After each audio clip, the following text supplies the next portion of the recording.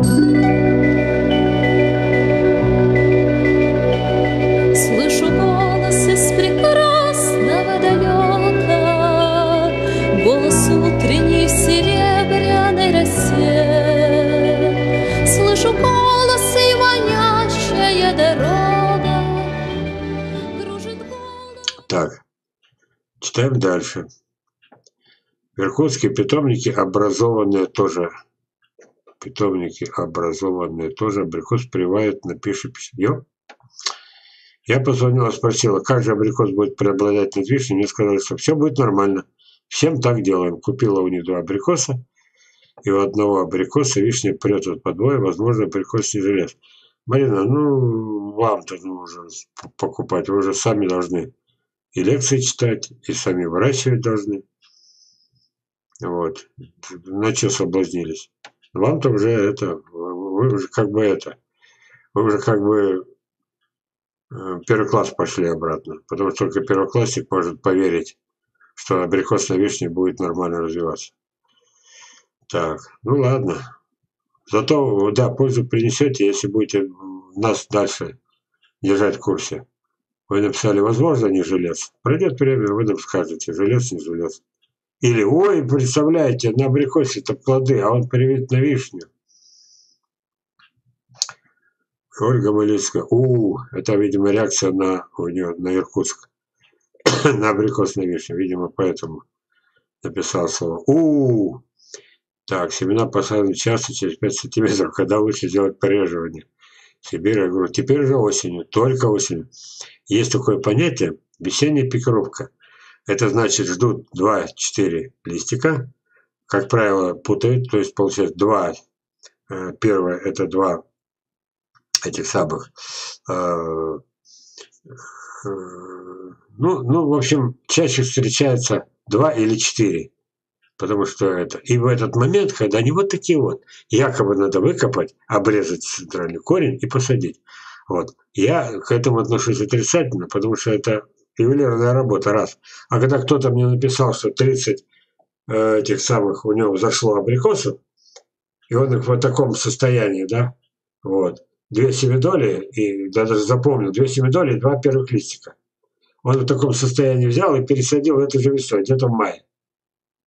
Все 30 мертвых. Вот тебе, здрасте. Вместо сада 30 штук зашло.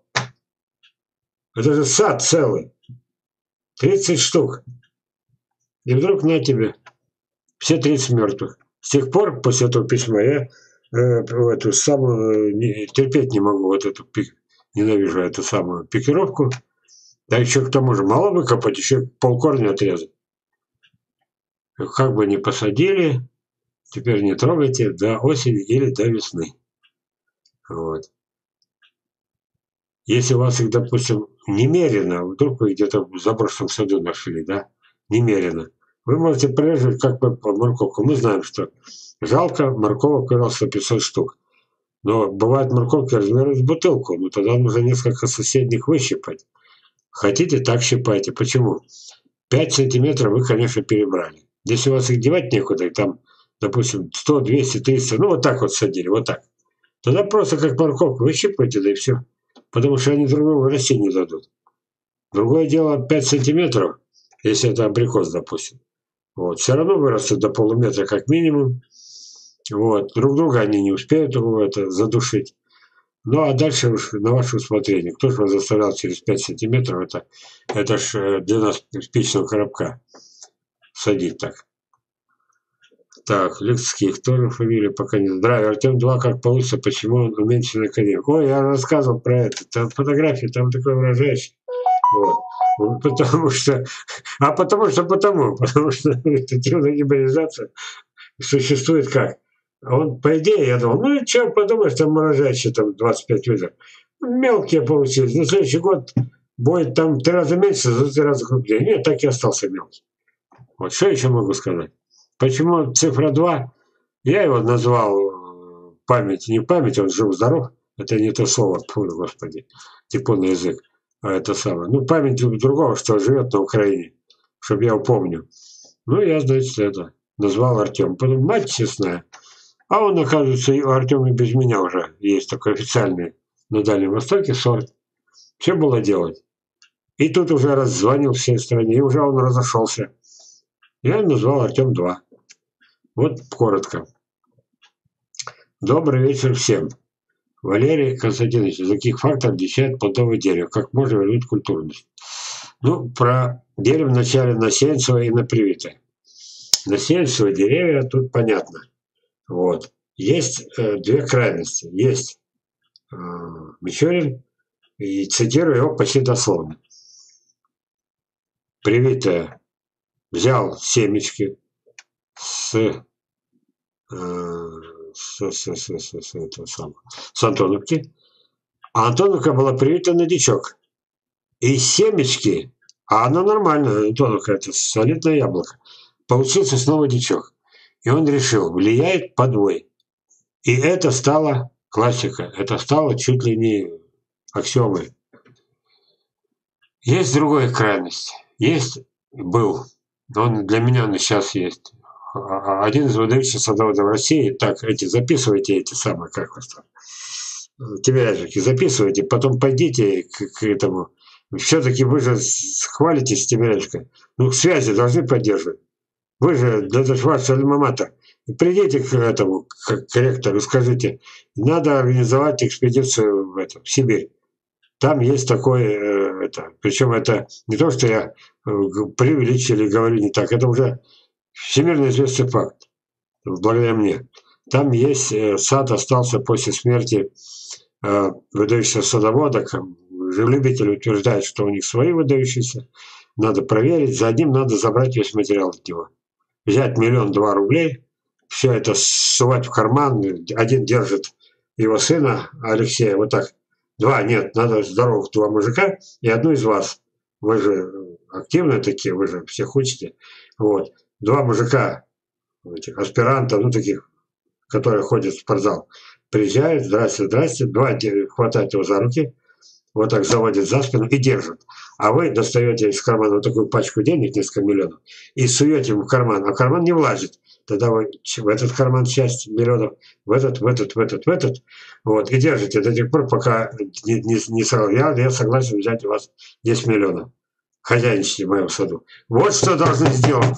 Должны сделать. Тогда вам честь и слава будет, а не эти самые. Отрежьте все ветки боковые. Вот. Польза от вас будет.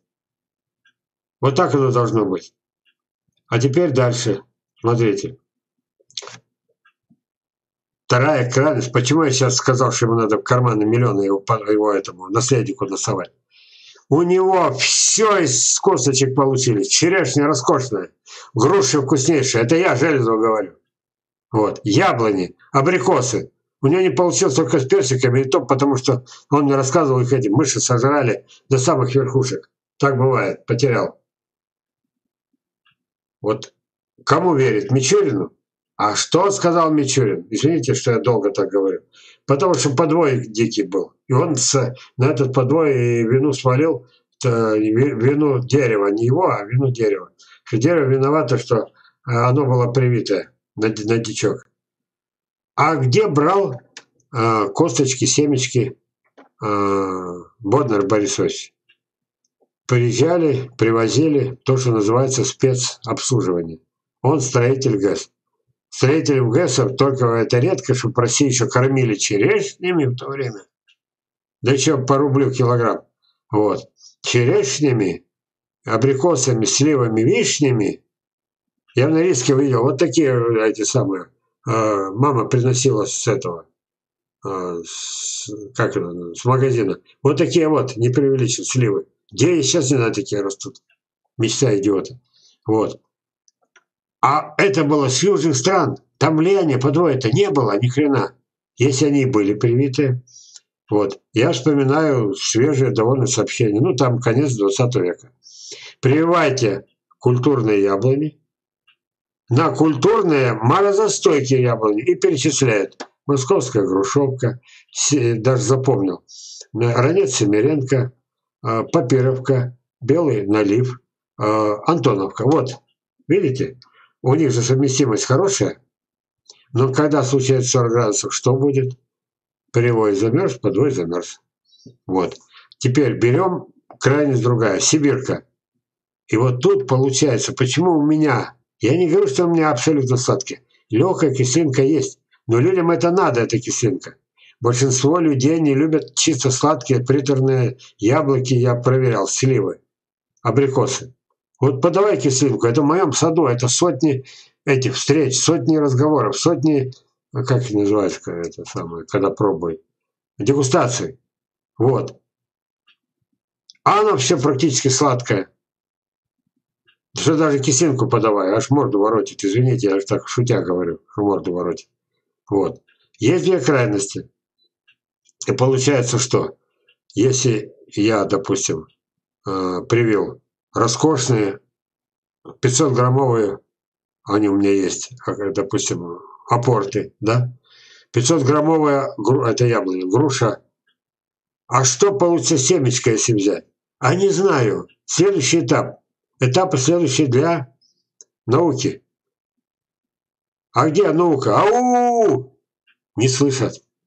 Вот, и получается, можно ли вернуть культурность? Да, вот это самое, это уже ко мне, моя любимая тема. Вот сейчас я не долистал, а там дальше э, красивая фотография Александра Савинич на фоне несколько, э, жалкий урожай был, несколько ягодок э, этих самых черешни, брянская розовая. Ее, ее мучили, мучили, мучили, а Брянский институт. И вымучили, что они стали вот такие вот. Стыдно даже держать деревья. Могу я вернуть? Несколько поколений, прививка, но особый способ по железу, то есть состояние ментора. И она опять вернется, вот такая будет. Вы готовы это делать? И поэтому и коротко Леониду. Да, вернуть культурность можно. Я вернул культурность, например, нескольким сортам абрикосов. Я с помощью прививок черешин в крону, э, пусть даже небольших получились веточки черешни, в крону вишен, я увеличил размер вишен два раза. Это не секрет. Вот так вот. В два раза. Можно вернуть. Другое дело, что это особая работа. Она для таких, как я, или для ученых, или для этих. Они не хотят этим заниматься. Вот. Сеянец на сеянец. Раз, да, это самое. Их спарил, в смысле. Ну да, спарил, есть такое слово, спаривание. Получается такой же вот. Ну все, как мог, ответил. Силантий. Доброго времени. Валерий речь садовода, что успешно приживать длинные черенки до 10 почек. Можно ли таких черенков вырастить нормальные деревья? Нет, нельзя. Всегда одна почка заберет у другой все. Особенно нижние, у. Смотрите, все 10 пошли в рост. А мне надо для будущего дерева одну почку. Вот с одной почки пошло по всей России. Это мне когда-то не наука и не это, не правительство, а вы мне мысленный памятник поставите, мысленный за то, что с одной почки хасанского персика еще несколько поколений. Сейчас придет осень. То, что я вам показывал фотографии, удесятерится. Еще будет 10 раз больше. А еще год в 100 раз больше. И вот все это мы сами все это сделаем. С одной почки начала, понимаете? А у вас тут 10 почек. Она пошла, нижняя почка прекрасна, вторая, третья. И вот десятая вроде растет. Ну, поверьте, она не то, что полноценная, она просто не нужна. Ваша задача Любой саженец должен начинаться с самой главной почки. Что я делаю? Но я знаю, что 2-3 выкормить дерево подвой уж 100%. Из этих двух-трех выявится лидер. Вот. Я раньше, еще прежде фотографии много, еще фильмы снимал до того, как вебинар появился. Или вот так, все три ровненькие. Или одна длинная, две покороче. Или три, а, причем не обязательно нижняя. Самая э, лидера может стать почка самая нижняя, самая верхняя из трех или средняя. Но 10 – перебор, поверьте. И трудно прокормить эту ветку. Ну, кто хочет, пусть занимается. Я уже не раз говорил. Читайте газету, у нас стоит демократия. Но учить других этому нельзя. Других надо учить наиболее эффективному садоводству. А это прививать 2-3 почки. Вот, правильно? Александр Смотритель, он со мной согласен. Вот.